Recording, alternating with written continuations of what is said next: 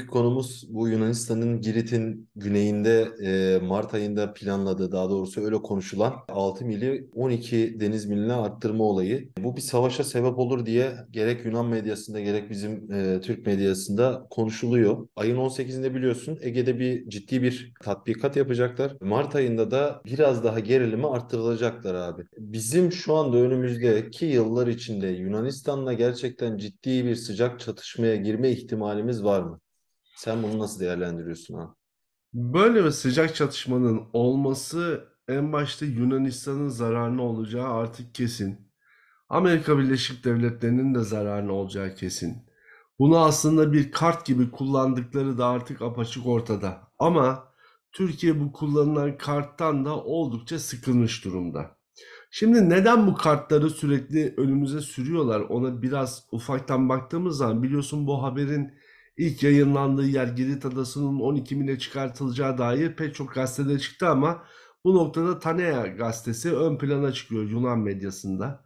Bugün yine aynı gazetede çıkan bir başka haberde Türkiye ile Bulgaristan arasında geçtiğimiz günlerde yapılmış olan doğal gaz anlaşmasından dolayı ciddi anlamda bir sıkıntı olduğunu, bunun Yunanistan'ı ilerleyen dönemde stratejik olarak rahatsız ettiğine dair önemli bir argüman beyan ediyorlar. Yani Türkiye'nin bölgede petrol, doğalgaz gibi çalışmalarını devam ettiriyor olması ve artık durup bir de bunu satmaya başlayacak olup Bulgaristan'la bir anlaşma yapmış olması Yunanistan'ı da bölge ülkelerini oldukça rahatsız ediyor. Hatta bu rahatsızlığın bir karşılığını Libya'da gördük. Yine gelen haberlere göre 13 Ocak tarihinde Libya'da Fransızların e, yargıya yaptıkları etkiyle Libya'da Türkiye Cumhuriyeti'nin bir anlaşma yapmıştı hatırlarsanız bölgede enerji kaynaklarının araştırılması ve çıkartılması Libya ile ortak hareket sürdürmek üzere. Bu noktada şu anda bir e, yargının bu aramayla alakalı yapılmış olan devletler arası anlaşmayı askıya aldığına dair bir haber var. Henüz teyit edilmedi. Dolayısıyla Akdeniz bölgesinde Türkiye'nin bir de Mısır'la yakın ilişkileri tekrardan kuracağını beyan ediyor olması çevre koşullar altında Türkiye'nin Rusya'nın da desteğiyle onun da mecburi destekleri ya da gereken destekleriyle stratejik bir hamle olarak Türkiye'nin bölgedeki doğal gaz deposu haline getirilecek olması elbette başta Amerika Birleşik Devletleri olmak üzere Avrupa ve NATO'yu rahatsız edecektir. Türkiye'nin bu geliri elde ediyor olması ve bu stratejik noktaya ulaşıyor olmasından dolayı. Hatta enteresan bir şey daha oldu.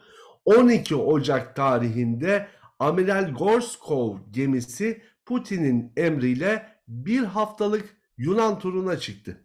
Yani Ege Denizi'nde bir tura çıktı. Putin özellikle emir verdi ve İngiltere'den bir grup gemide bu gemileri uzaktan takip etmek üzere NATO güçleri adı altında izlemeye alıp ta, e, onları takip edeceklerini beyan ettiler. Ama şimdi burada da bir, bir, bir tuhaf durum daha var. Atina yine bir açıklama daha yaptı. Yine dün oldu bu açıklama. Başbakan tarafından bir açıklama yapıldı. Dediler ki biliyorsunuz Malta Adası, Girit bu bölgede Rusların belli şirketleri ve bu şirketler üzerinden para akışı var. Avrupa Birliği'nin de Ukrayna-Rus savaşında Amerika'nın emriyle NATO'nun da gereklilik beyanatıyla Rusya'ya bir yaptırımlar listesi yayınladı.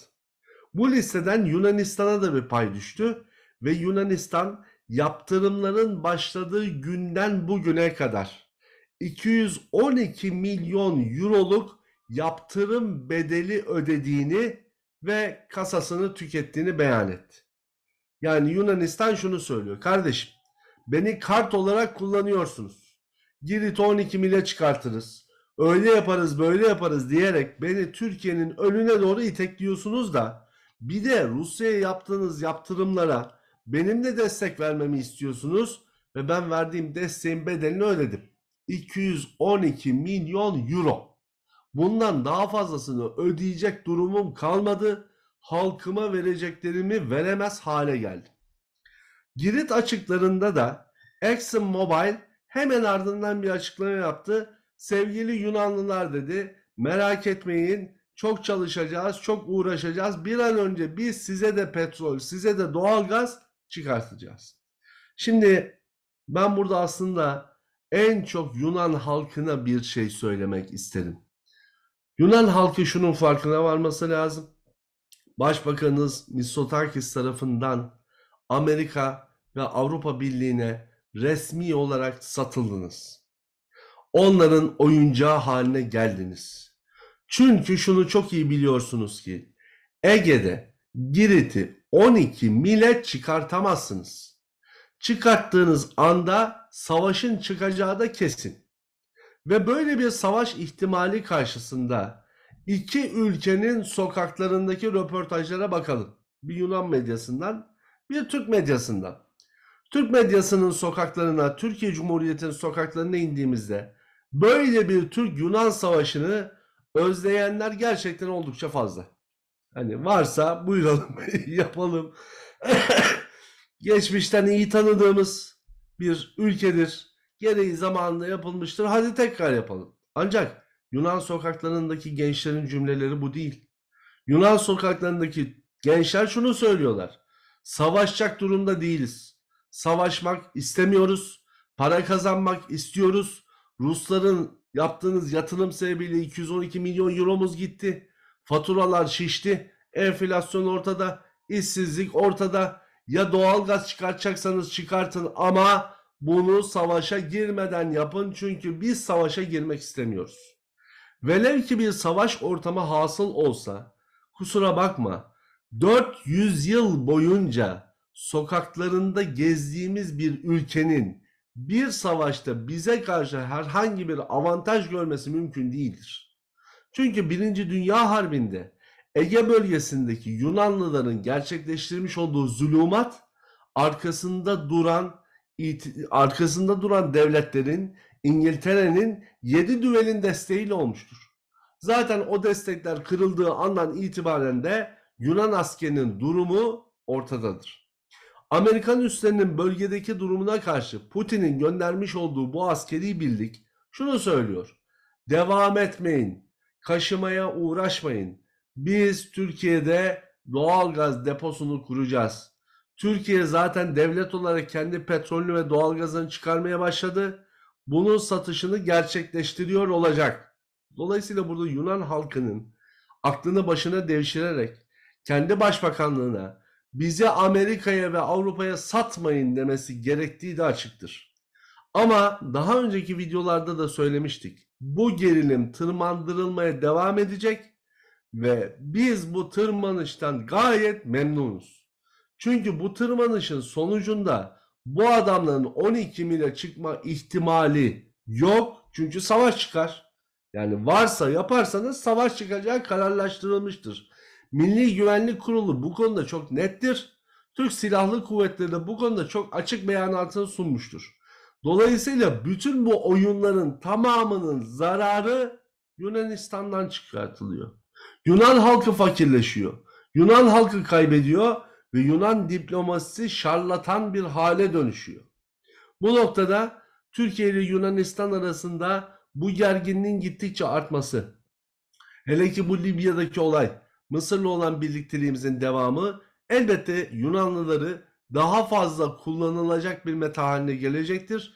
Ancak Putin sessizliğini Ege noktasında bozmuş ve birliklerini Ege'ye sevk etmiştir. Bunlar şimdi tatbikat esnasında hem Rusya'nın hem Türkiye'nin vereceği mesajları alıyor olacaklar. Bu mesajları alacaklarına inanmıyorum. Kaşımaya devam edeceklerini, daha fazla uğraşacaklarını da iyice anlıyoruz. Ama bu kaşıntının sonucunda kanın akacağı yer Türkiye değil, Yunanistan olur. Çünkü matematik gayet ortadadır. Bu matematiği değiştirecek tek bir şey olabilir. Amerika Birleşik Devletleri'nin olası bir Türk-Yunan savaşında Yunan tarafında yer alması. Peki soruyorum. Rusya-Ukrayna savaşında Ukrayna'ya Amerika Birleşik Devletleri tam desteğini vermiş midir? Hayır. Avrupa tam desteğini vermiş midir? Hayır. Sevgili Yunanlar, Ukrayna'nın başına ne geldiyse sizin de başınıza aynı şeyler gelir. Satıldınız, kendi ülkenizi geri almaya bakın. Türkiye Cumhuriyeti ile uğraşmamaya gayret edin. Kendi hükümetinizde bu noktada sıkıştırmaya çalışın ki bu kendi can güvenliğiniz, kendi geleceğiniz için en temel argümandır. Bu bizim de herhalde önümüzdeki süreçte artık söyleyeceğimiz bir sözle kalmamıştır. Türk diplomasisi artık geçmişte bazı cümlelerle atıştırıyordu. Hayır, hem Sayın Dışişleri Bakanlığı hem de Türk Silahlı Kuvvetleri bu konuda çok net beyanatını sundu. 12 mili yazan savaşa hazır olsun. Sokaklar da bu noktada hazır. Karşı tarafın sokakları ortada. Ama bu gerginlik bize yeniden bazı hakikatleri hatırlamamıza da vesile olacaktır. Bu arada Girit Adası'nda yine bugün Tanea Gazetesi'nde ilginç bir haber vardı. Yapılan sismik araştırmalar ExxonMobil yakın dönemde ben buradan petrol çıkaracağım diyen ExxonMobil sismik araştırmalarını arttırmış. Ben burada bir petrol çalışması yapacaksam iyi çalışmalıyım diye. Onlar da şöyle bir makale yazmışlar ve beyan etmişler. Yakında Girit bölgesinde büyük bir deprem bekliyoruz. Şimdi bu hakikaten böyle midir? Yoksa kullanılan Yunanlılara vallahi biz Türklerle kafa kafaya gelmekten korkuyoruz. Şimdi de size depremi size bahane edeceğiz midir? Onu bize zaman gösteriyor olacak. Ama 400 yıl sokaklarını yönettiğimiz bir devletle biz savaşa girmeyiz. Oyun oynarız, o da zevkini olur. Şimdi yani güzel bağladın sonunu da birkaç şey daha sormak istiyorum. Eyvallah. Şimdi abi biz böyle uluslararası işte anlaşmazlıklarda kendimizi bir türlü anlatamadığımızı sürekli konuşan, tartışan bir milletiz. Bu Evet. mevzuda da Türkiye'nin uluslararası aranda işte NATO'da olsun, Birleşmiş Milletler'de olsun bu anlaşmazlıkla alakalı Türkiye'nin yapması gerekenler var mıdır? Efendim bu konudaki en önemli yapılması gereken yurt dışındaki üniversiteler ve bu üniversitelerin bölgelerinde arttırılması gereken düşünce kuruluşlarının yapısı. Bunlardan bir tanesi elhamdülillah bizimle bizim çalıştığımız düşünce kuruluşu. Bunların sayısının en az yüze çıkması lazım.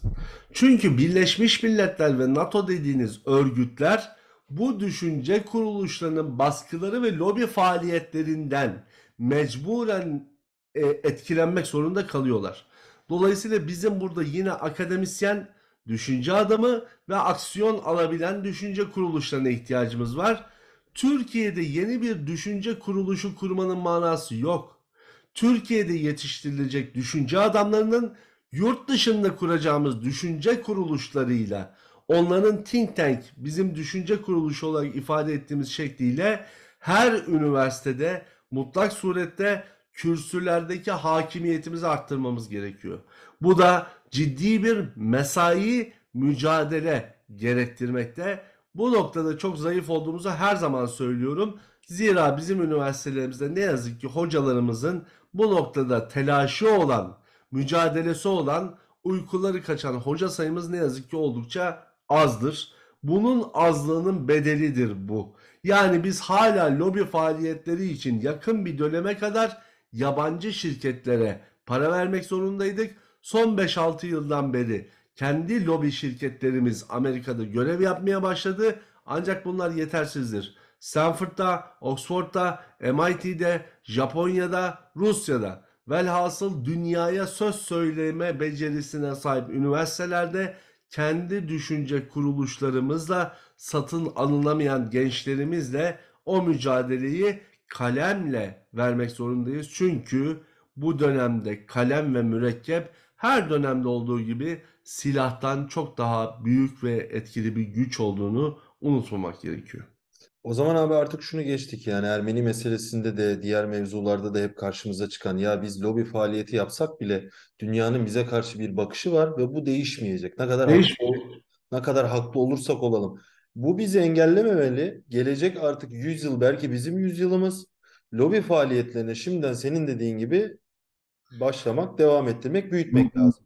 Şimdi NATO Genel Sekreterliği'nin, Fransa'nın yönetiminin, hükümetinin tutup da aa çok güzel anlattınız, hiç böyle düşünmemiştik. Ermeniler zulüm altında değil, olay böyle değilmiş demesini beklemiyoruz. Bizim kurduğumuz düşünce kuruluşlarımızdaki hedefimiz o ülkenin halkları, o ülkenin gençleri, o ülkenin çocukları. O yüzden ben, ben, ben bu videoda da Yunan Başbakanlığını, Yunanistan'ın affedersin kıçı kırık silahlı kuvvetlerini e, tabiri caizse karşılık vermiyorum. Yunan halkına sesleniyorum. Ey Yunan halkı Başbakanlığınız sizi sattı. Uyanın. Cebinizi sövüşlemekle kalmadılar. Şimdi canınızı acıtacaklar. Biz bu halkları, bu mazlum olma adayı olan halkları uyarmakla mükellefiz. Yoksa yukarısı 100 yılda geçse şeytanın adamları bunlar değişmeyecek. Ama aşağıdaki halk size inanmaya, sizi duymaya ve görmeye başladığı andan itibaren ya arkadaş yıllardır bize bir hikaye anlatıyorsunuz ama geldiler, anlattılar, ispatladılar. Durum hiç de öyle değilmiş dediklerinde o gençler yarın öbür gün o hükümete geçtiğinde elbette ki birçok şey değişmeyecektir ama belki o işleri değiştirecek önemli isimlerin oluşmasına vesile olunabilir. Eyvallah abi ağzına sağlık. Teşekkür ediyorum. Ee, bu arada şimdiden sana senden şey sözü de alayım abi. Ee, az önce sen İngiltere ve Rusya'dan bahsederken aklıma geldi. Şimdi sana gelen raporlardan bazılarını e, görme şansım oldu. Beraber de gerçi konuştuk üzerine. Bu Rusya ve İngiltere'nin e, Türkiye ile alakalı bundan sonraki süreçte e, alacağı aksiyonlarla alakalı da bir video çekmek isterim. Eyvallah. Hele şu Ocak ayının sonu bir gele. hele şu altılı masa bir açıklamasını beyan ede. Sonra İngiltere Rusya'yı konuşuruz. Ne alaka dememek lazım. Bazen çok alakasız şeyler aslında çok alakalı olabiliyor. Eyvallah abi ağzına sağlık. Görüşmek üzere. Eyvallah.